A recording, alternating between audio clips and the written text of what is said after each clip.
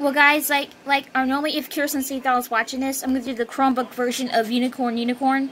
And a lot of you asking that she's going to do the reaction video. Then if, you, if you're watching this, Kirsten, I hope this will, will be, be very funny. So, yeah, here we go. And now, here's a fun song about unicorns. Unicorn, unicorn, unicorn, unicorn, unicorn, unicorn, unicorn. Unicorn, unicorn, unicorn, unicorn, unicorn, unicorn, unicorn. Unicorn, unicorn, unicorn, unicorn, unicorn, unicorn, unicorn. Which is Matt Daniel. Unicorn, unicorn, unicorn. Unicorn, unicorn, unicorn, unicorn, unicorn, unicorn, unicorn. Unicorn, unicorn, unicorn, unicorn, unicorn, unicorn, unicorn. Unicorn, you. Unicorn, me. Unicorns together. Unicorns forever. Dolphins. Ram.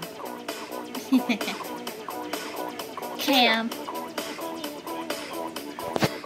Lamb. Oh, and that lamb, that lamb effect from counting sheep. Ham.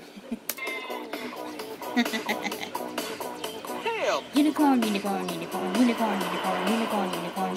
Unicorn, unicorn, unicorn, unicorn, unicorn, unicorn, unicorn.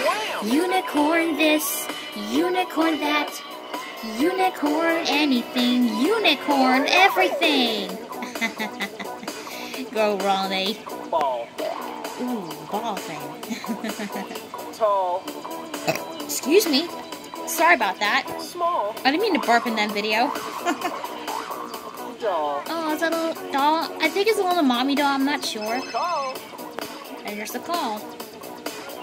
Ball. Unicorn who? Unicorn what? Unicorn where? Unicorn there. I think that was a gorilla or a monkey. Wind. Oh, he's getting exhausted. Bend. Unicorn, unicorn, unicorn, unicorn. Unicorn, unicorn, unicorn, unicorn, unicorn, unicorn, unicorn. Blend. Unicorn, unicorn, unicorn, unicorn. Friend. Oh, friends with Chucky. And. well, thanks for watching, everybody. If you're watching this Kirsten Seather, I really hope to react to Unicorn Unicorn, and it's super, super funny. Ronnie, the unicorn, is on there.